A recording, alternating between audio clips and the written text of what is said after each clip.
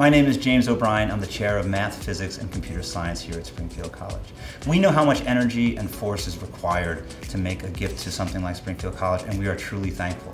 So we thought we would try to have some fun demonstrating some of the concepts such as force and momentum, and take something that had tremendous potential energy and turn it into kinetic energy. So instead of measuring something like the speed of light or the speed of sound, we're here today to try to measure the speed of love.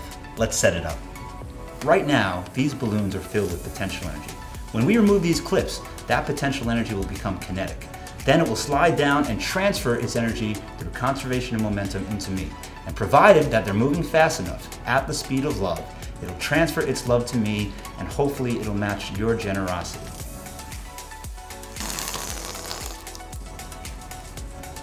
Thank you for your support.